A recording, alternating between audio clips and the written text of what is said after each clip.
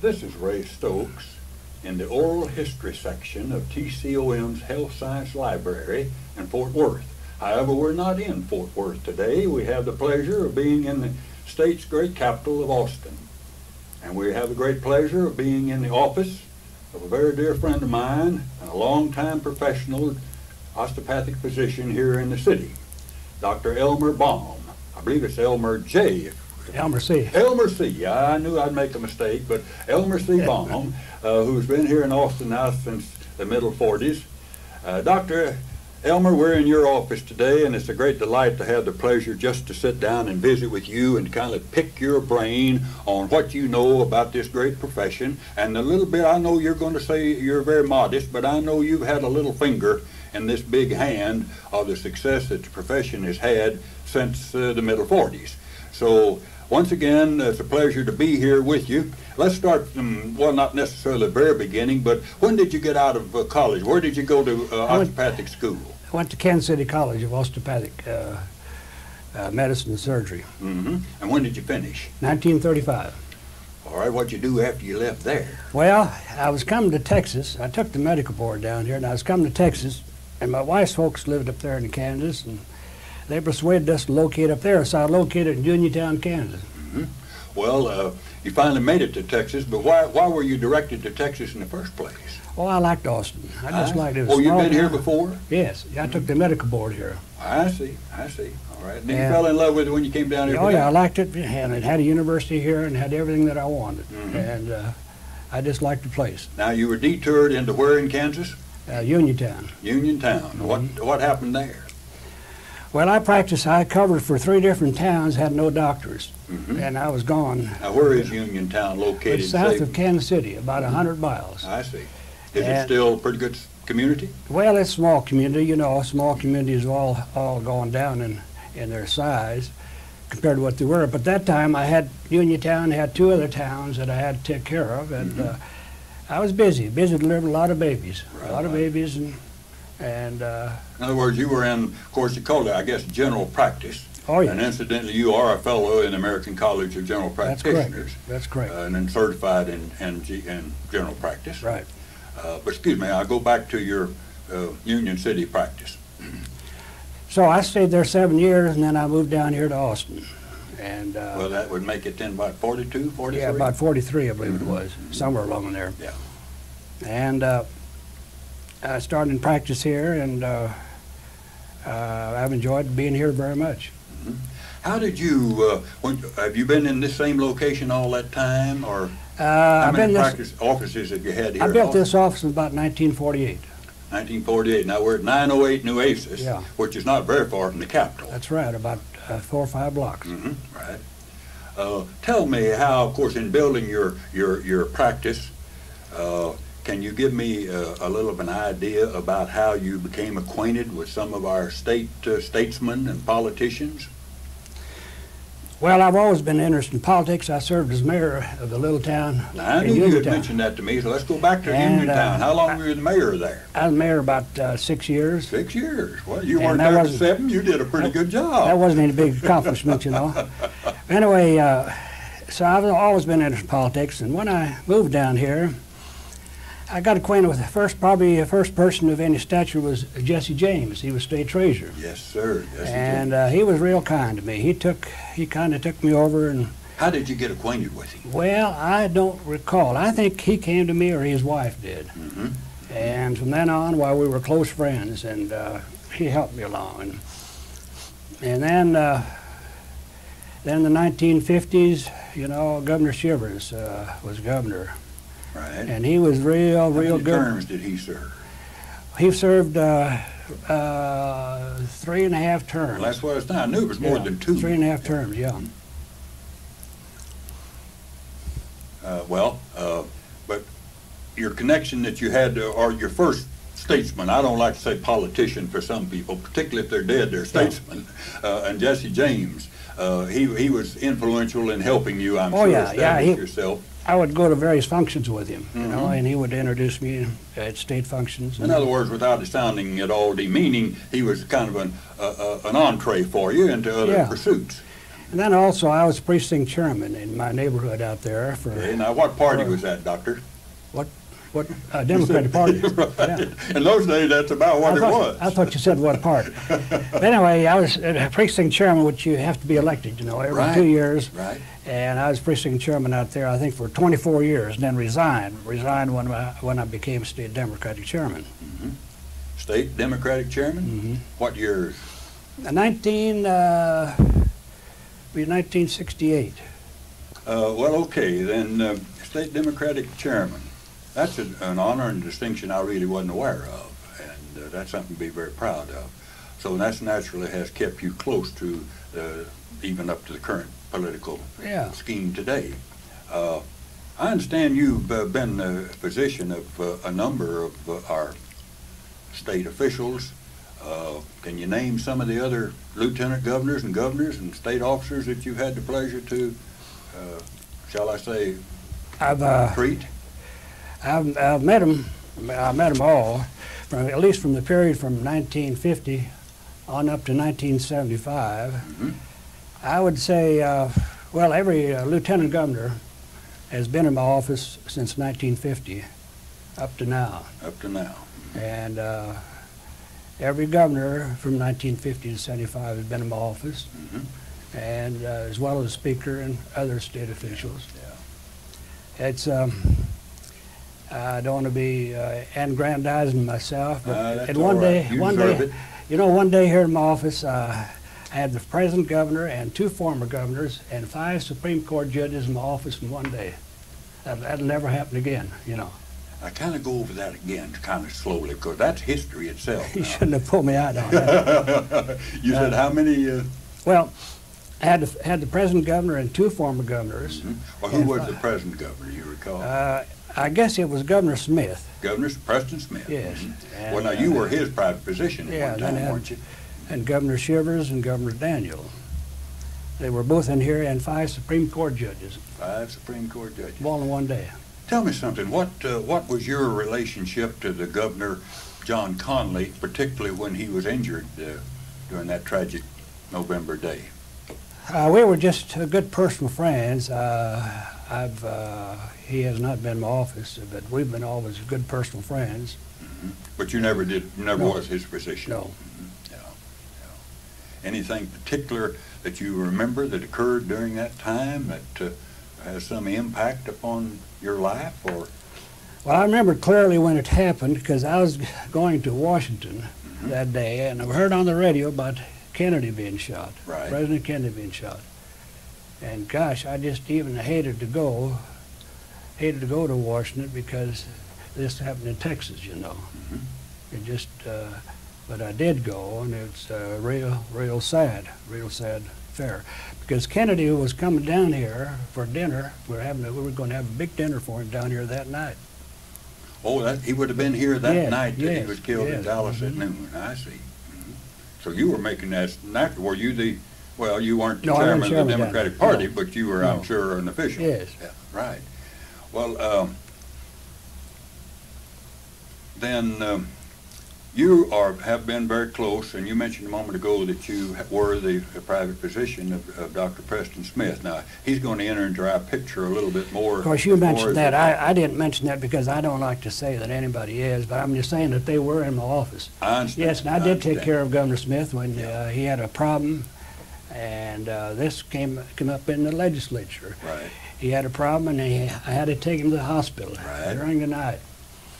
And um, then later on, it was brought up in the legislature, I think a couple of years later, that here his own private doctor couldn't work in that hospital, you know. Remember that? Yes, sir. I wanted. To, that's what I was trying to allude to at that, at that time. What year was that? You recall? Uh, that must have been in the, uh, it would have to be in the late 60s or Mhm. early 70s, probably the late 60s. Yeah. Right. right. Well, I'm- let's go back just a little bit. I know you have a, a, a, a an avid interest uh, in uh, the the history of, of the osteopathic profession, particularly the uh, the profession here in Texas, uh, and the association I believe was founded in 1900. Uh, along about 1907, didn't the didn't the didn't the profession have a little trouble with the legislature? Uh, was there certain bills enacted that uh, uh, may not have been too uh, advantageous? Of course, I wasn't here then, but the history of it is, and I've studied. I don't think you and I either one were here in 1907. Yeah, uh, the history of it is uh, real good. The, the practice of medicine has an interesting his, history in Tes- Texas as to the licensure and the development of the osteopathic profession. Because back in 18, that's over a century ago, in 1873, uh, the doctors were licensed in each county. They had a board in each county. And then it went to district. That's the history of it. Right. Then we come to 1907 is what you mentioned Uh-huh.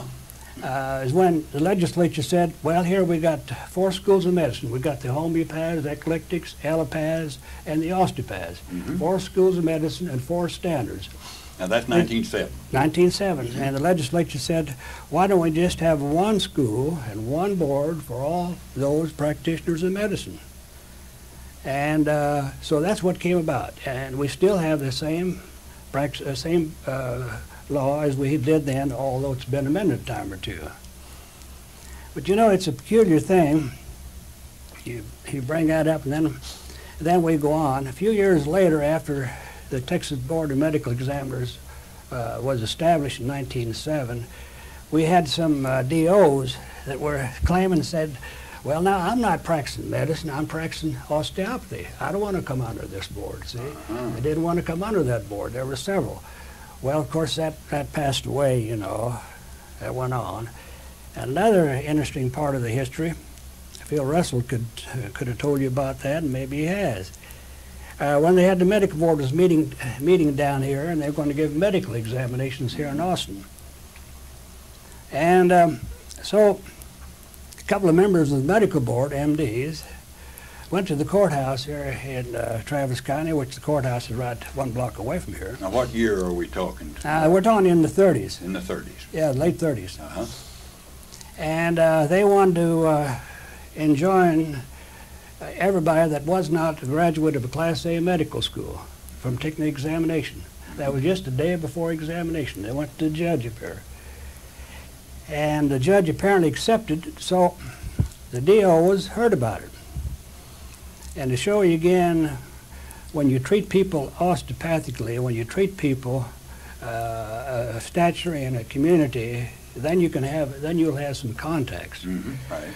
Uh, this individual has got, the individual they got, they had had influence. Well, the individual they got to uh, to defend them was a, a man was a former attorney general and a former governor, Governor Dan Moody.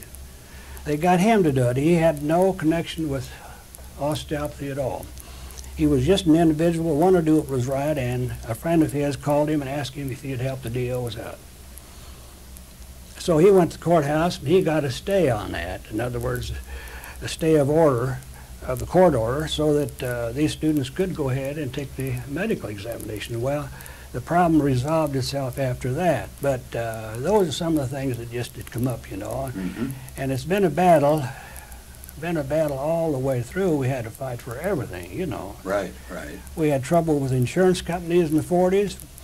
We had trouble with state agencies. We had trouble with um, getting postgraduate medical training in the uh, 50s and 60s. Mhm.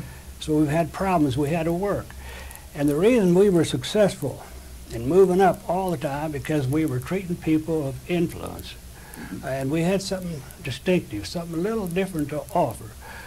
Why would they come, uh, come to us in the first place? Because we were, for only one reason. That is, we were a little different. Because they could go to any doctor, but they came to us because we gave OMTs. Mhm. OMT now, what does that mean? That's osteopathic manipulative treatment. Right. We used to call it an osteopathic treatment.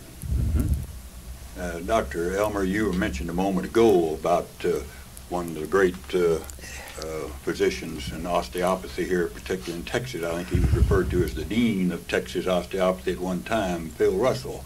Uh, what was your contact with uh, with Dr. Phil? Oh, very close, very close. He'd, he'd call me every day, you know. I Mhm. was down here in Austin. see. Right, right. You were kind of a pipeline for him. Yeah? I was in the legislature, and Yeah. of course, uh, he would call me about various things, you know, and I would do the legwork for him, you know. Right.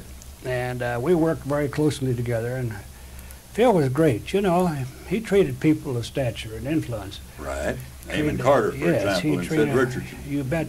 And that made a difference. It that sure made a difference. Yeah, That made a difference how we came along. That's what I'm trying to say is that uh, it's because we had certain people that were treating people of position, which made a big difference. Besides, we had all these DOs that were treating uh, people out in rural area where nobody else was going but the DOs. Mhm. But Phil and I were served on the legislative committee for many, many years. Uh, we had a very close relationship. Now, that'd Uh, be the, your association's or legislative Yes, committee, yes. TOMA's Legislative Yes, Committee? yes. yes. Right. He was chairman up until, oh, I guess, uh, mid-50s maybe, and I was chairman from then on. Mhm. But we always worked very closely together. Uh, what, uh, let's go back to your, your initial interest in helping establish a Texas College of Osteopathic Medicine. Of course, at that time, you didn't know exactly where it'd be located or anything of that nature, but long, you were president of TOMA in what, 52, 53? 52. Was there any interest manifested at that far back date uh, of a proposed school? I, I think they dated 1960, but I just wondered if the if there was a little Uh, germ planted earlier, maybe during your administration. Not really. We really never thought about a college uh, in the 50s that much. Uh, really, our profession, I think, uh, there's a lot of credit goes a long ways back, but going in the 50s, you know, when uh, under the Governor Shivers administration, which I mentioned a while Mhm. ago, he Right. opened a lot of doors for us. And he put uh, he put DOs on a lot of different advisory committees that were helpful Well, I was going to ask you, And could you name one of those doors particularly. Yeah. in resolving uh, in resolving uh, problems we had with state agencies. And um, Like insurance, for example. yes, and le- like even Blue Cross Blue Shield, which you wouldn't think would be doing that, but they would deny payments to osteopathic doctors because they weren't a graduate of a Class A medical school Mhm. or some other arbitrary uh, regulation. Right. But anyway, he helped us then, and then uh, Governor Smith came along. He served in the House for six years.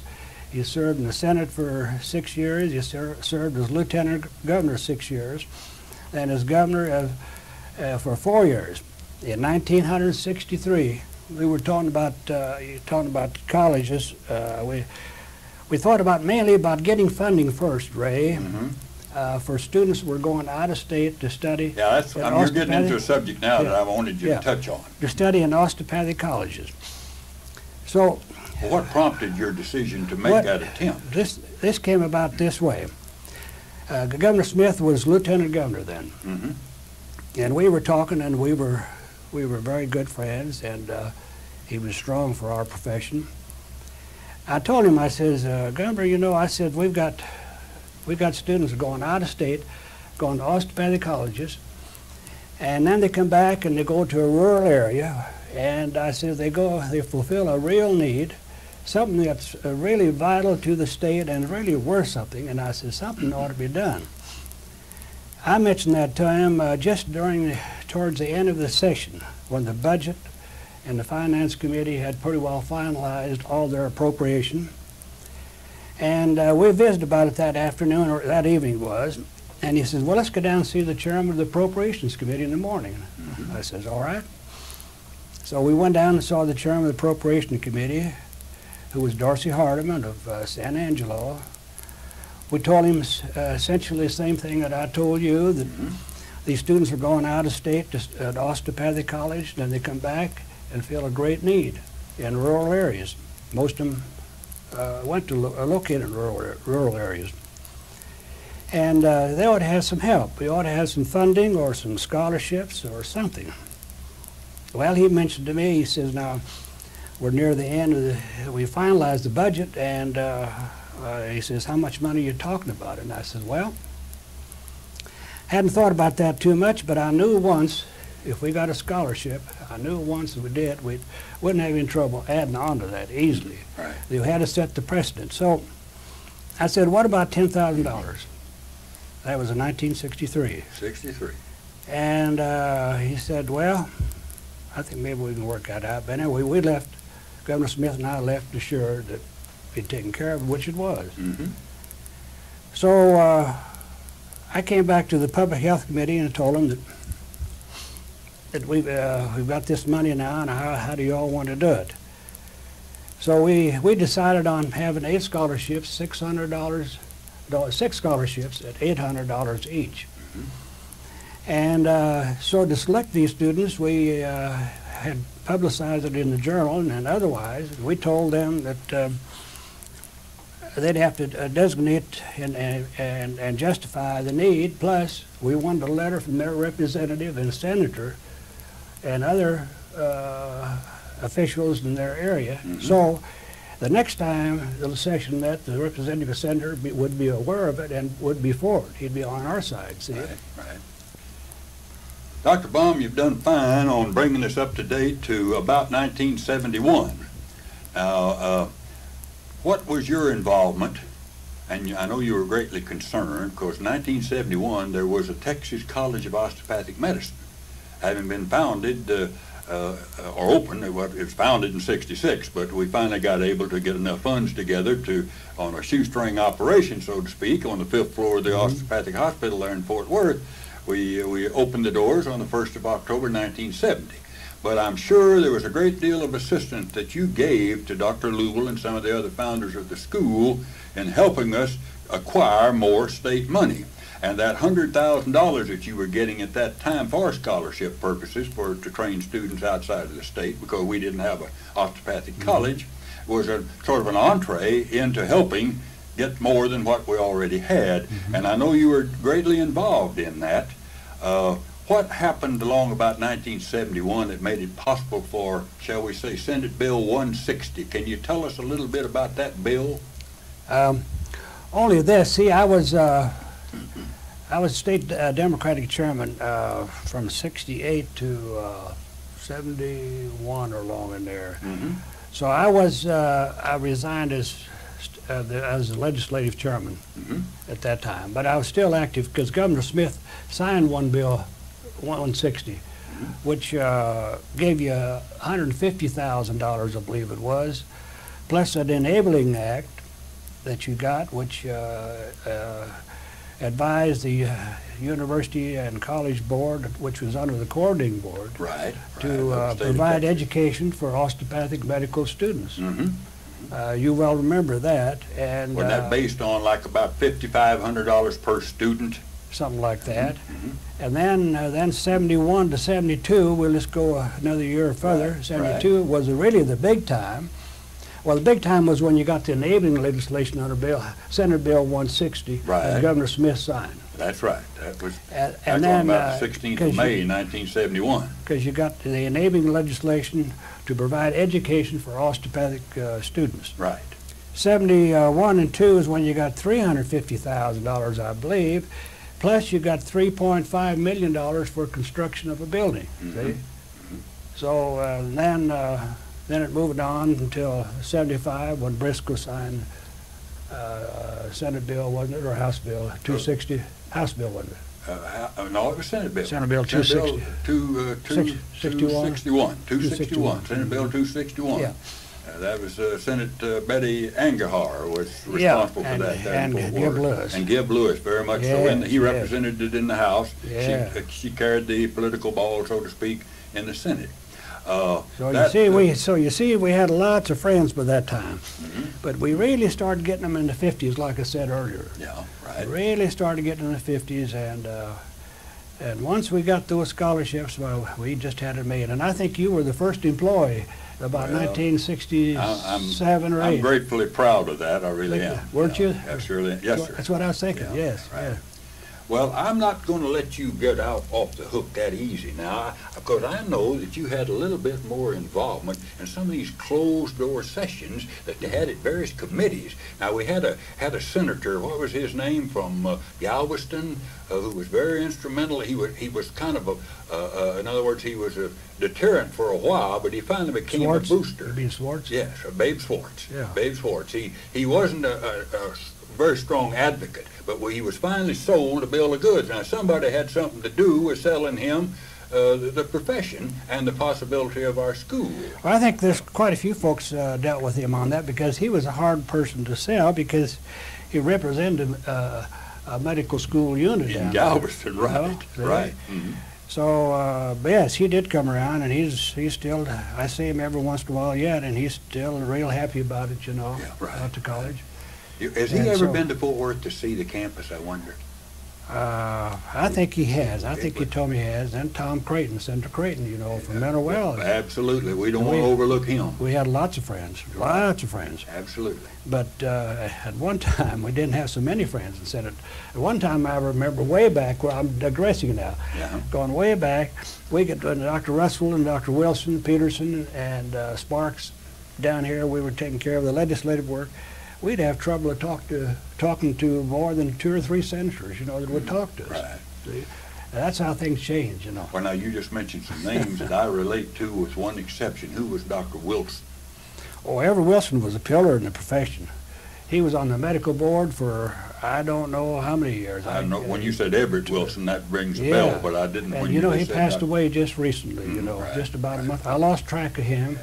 You He- mentioned he- Sam Sparks. He Oh, was- yeah, Sam was good. Oh, he was good. Right. Sam know how to, Sam knew how to move. You know, we'd Mhm. go up here to the Capitol, and Sam just knew how to move in the Capitol. And his wife, Merrill. Merrill, fine, also- fine lady. Right, right.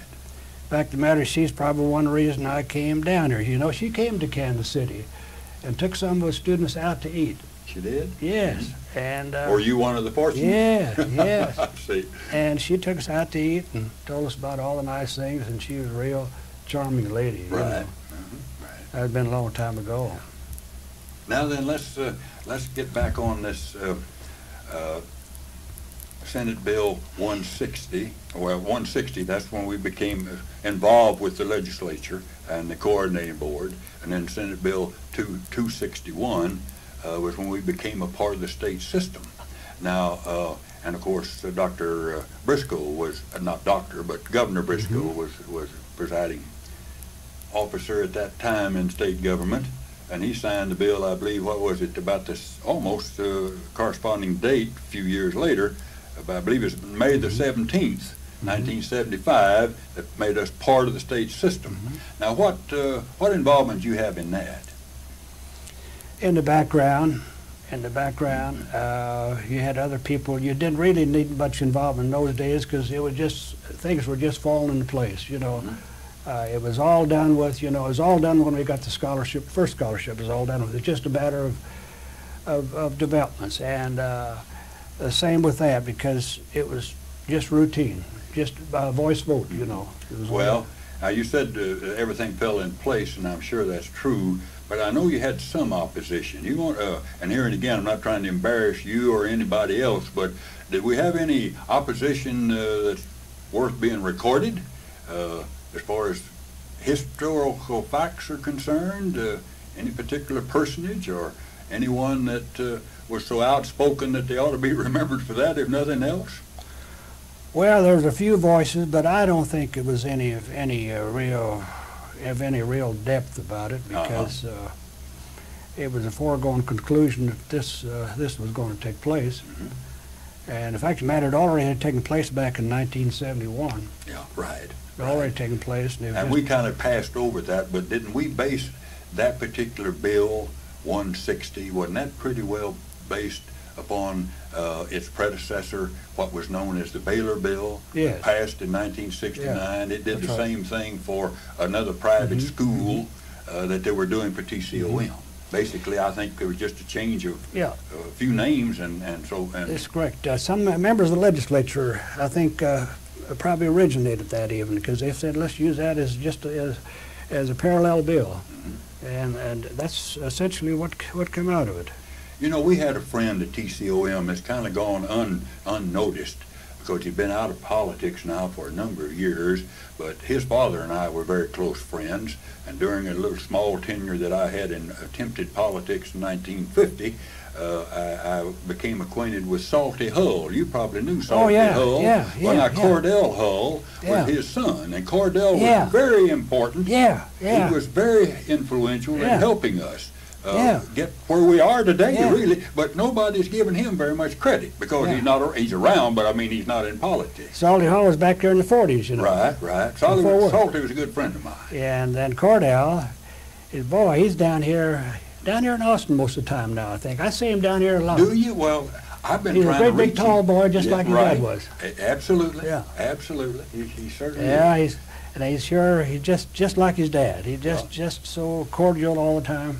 Nice person. And don't you feel like he had some, Oh yes. at Oh least yes. a little finger in, the, Oh. in the hand that You made know- it possible? a lot of people, you know, had had a part in it, you know, and uh, it's it's hard to give credit. But you know, we've got to go back to this. We've got to give credit to the DOs that treated people, that treated people. Uh, they treated, uh, you know, they would they would treat them, and then pretty soon they would be their total physician. You know what I mean? They'd get them for because they were different. Uh, they'd come to them in the early days. Nowadays, of course, it don't make a difference. You know, these uh, boys today, they have no problems going to any any uh, any teaching uh, area or any medical facility or anything else. You know, Right. uh, compared to what we we had to battle it, and we had to battle it all the way. But now, uh, their main battle now is economics. That's our that's our only that's their only problem. You know, before we conclude this chat together, I want to touch on something that uh, you may be a little embarrassed or a little modest about. But you know, TCOM now is comprised of better than 15 acres of land. And we have three tremendous buildings, uh, large buildings, an eight-story, a five-story, and a four-story building. I'm in part of the four-story. My office is on the third floor of the library building, which is called Med Ed 3, the most recent building. And it cost right at $11 million. Now, uh, and uh, we uh, had that money kicked around from, uh, from pillar to post for a long time before we absolutely got it for certain. Uh, and I've been told, and I'd like for you to kind of verify the story that I uh, that I've been told, that Elmer Baum had a lot to do with our actually getting that 11 million dollars. Uh, can you give me a little bit of uh, uh, your your involvement in? Uh, you know, we were granted, uh, and it was passed by the legislature. Now, this was all what back about 1983 or four, somewhere Yeah, in there. three or Uh, four. and uh, Doctor, uh, not doctor, but uh, Governor Clements, uh, the governor, Yeah. uh, he was going to line veto, as I understand, uh, the, the money that was allocated for TCOM's library building until certain people helped change his mind. I don't know who changed his mind, but uh, Dr. Luibel called me Mhm. one late, late one afternoon. He told me just exactly what you said, that he, he understood that uh, Governor Clements had vetoed or was going to veto the appropriation for the library. And uh, I wanted to know if, I, if I'd help out. And I says, yeah, I'll, I'll see what I can do, George. So I uh, called the governor's office. That was about four or five o'clock, I guess, called him. And um, he couldn't come to the phone because uh, his administrative assistant said he was working on the appropriation bill. And he said, want to know what uh, I was calling about. And I said, well, I'm calling about the library for the Fort Worth Osteopathic uh, Medical College. And I understand we got a problem. He says, well, I think he's passed over that, which uh, I kind of thought maybe that uh, he probably had vetoed, you know, or wasn't going to assign. Mm-hmm.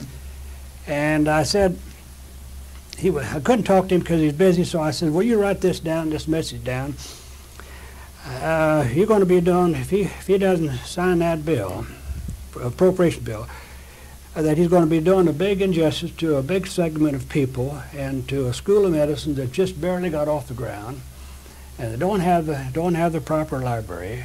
All other medical schools have their library.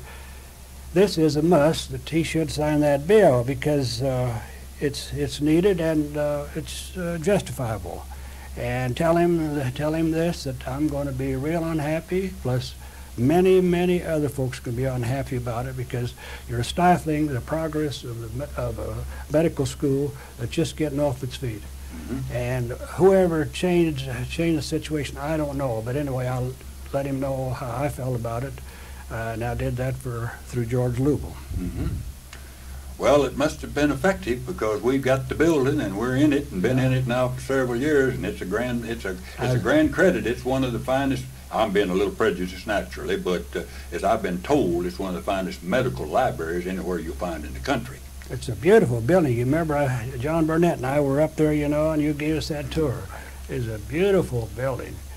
And I'm sure that Governor Clements would be real proud of it now, and he probably, he probably is. Yeah, right. But anyway, uh, You ought to bring him up and show it to him sometime. yeah, You ought to did, did tell him about it. Yeah, right. And uh, but anyway, um, uh, you got the library, and I didn't know that it was in jeopardy. You know, Right, because he was uh, he was vetoing a lot of things because they were short of money. right, right. You know, before we conclude this uh, chat together, I, I want to close on this note. I know you've made a great contribution here in Austin and the state and the nation. And I say nation because I noticed that every now and then I call down here to talk to Elmer Baum and he's on his way or, or just been to or just got back from Washington. Uh, what, what uh, takes you to Washington occasionally?